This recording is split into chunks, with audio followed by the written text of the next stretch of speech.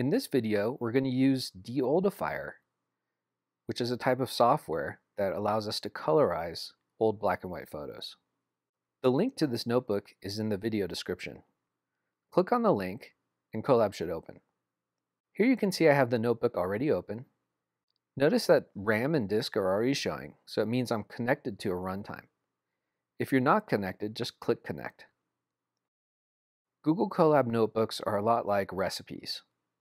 They are sets of instructions that should be performed in sequence in order to obtain a certain result. The table of contents shows the steps I'll need to perform in order to colorize images.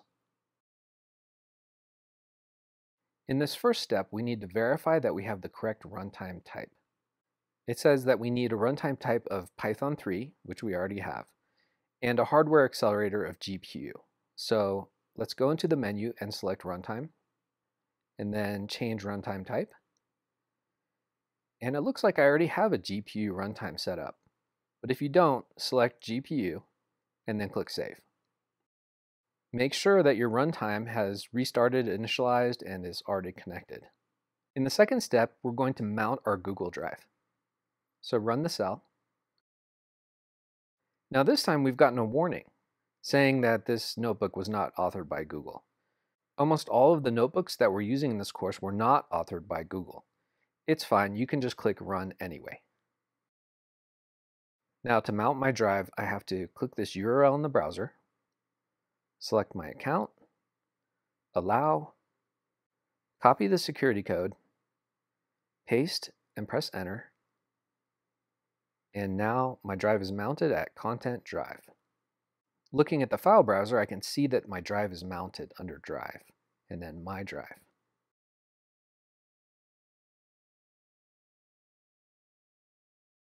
Great. Next step, we're going to copy the code for Deoldify from GitHub. So run the cell. All right, we copied the files. If we look at the file browser and click refresh, we'll see the folder that we downloaded, Deoldify. Inside the folder is all the code we need to run Deoldify. Next, we're going to change directory into Deoldify, cd Deoldify. Currently, we're in the content directory, and we want to change directory to Deoldify. Okay, now we're in the Deoldify directory. Now we can go to setup. Let's run the first cell. All right, let's go to the next cell that says pip install. Run it.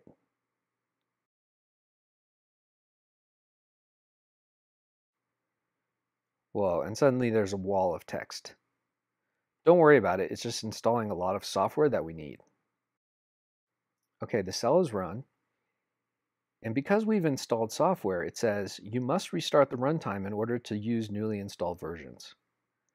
So click the Restart Runtime button, and then click Yes. In the top right hand corner, you'll see that our runtime is restarting. Okay, it's showing RAM and disk again, so we're connected. Once we restart, we lost all of our local variables and we're also back into our original content directory. So let's change directories back into Deoldify. Okay, we're back into the Deoldify directory. Let's keep going.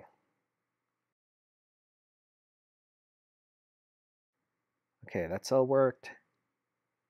We're going to download some models.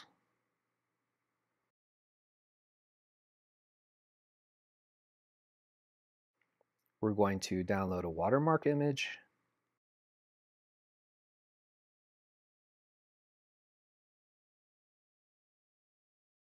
Finally, we'll get the image colorizer.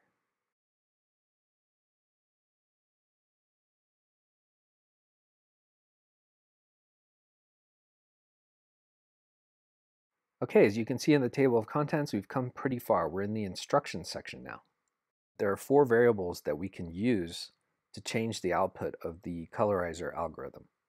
So source URL, that's a website URL that we can use to download an image and colorize it. Alternatively, we can use source path if we want to colorize an image that's on our Google Drive or in our current runtime.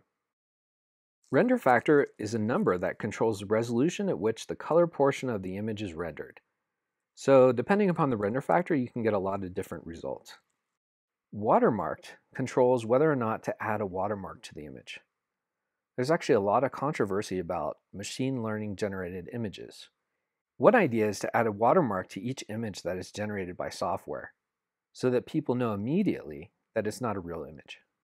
All right, we can finally have some fun and colorize an image. So I'm going to look for an image on Google Images.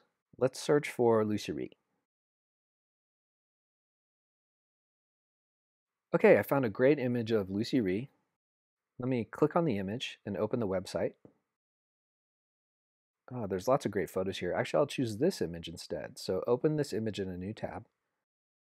And in the browser location bar, I'm going to copy the URL. Now we go back to our Colab notebook and paste the URL into the source URL field. Okay, for render factor, we'll just keep it at the default and we'll add a watermark. Okay, let's run this cell. Now I could speed up the video here, but I want you to get an idea of how long running some of these cells is going to take, especially when we're generating images. Some cells can take minutes, some can take hours.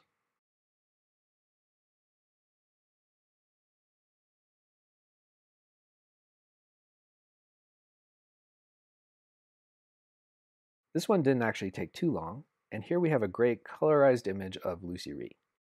Here's the original black and white version, and next to it is the colorized version. So that we can better understand how render factor affects the image quality, let's run this next cell. This cell is going to use the same source image of Lucy Rhee to generate a number of different color versions at different render factor values.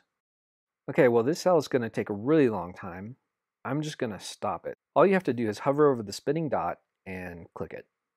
That will stop the cell. All right, so we stopped the cell and you can see that it did generate some images at different render factor values. It just didn't complete all of them. So here's a render factor of 12, 14, 16, 20.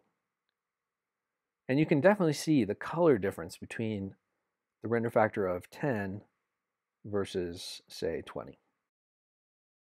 So if you have some extra time, you can run that cell until it completes and then look at all of the render factor values to see which render factor you prefer. Okay, besides render factor, there was the watermarked argument, and you can see in the bottom left-hand corner of the image that there is a watermark. Now, say we're really satisfied with this image and we want to save it. How do we do that? Well, you can just right-click on the image, Click Save Image As, and then save it on your computer. Now what happens if we want to colorize an image that's on our local computer or on our Google Drive? I'm going to go into my files and just drag and drop an old black and white photo into my notebook. And remember, this file is going to be deleted once the runtime is recycled. Okay, my image is uploading. Once it's uploaded, it appears in my files. Double clicking, I can view the image.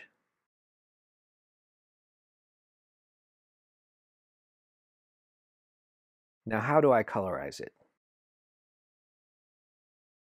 Click the three dots and then copy path.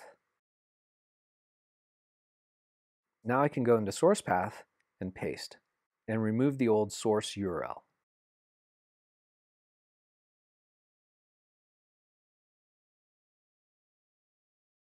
Okay, run the colorize cell again. This black and white image is quite large, so this might take a while.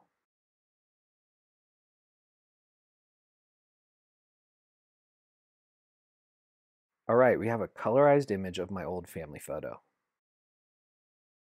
Here you can see the black and white version and the colorized version.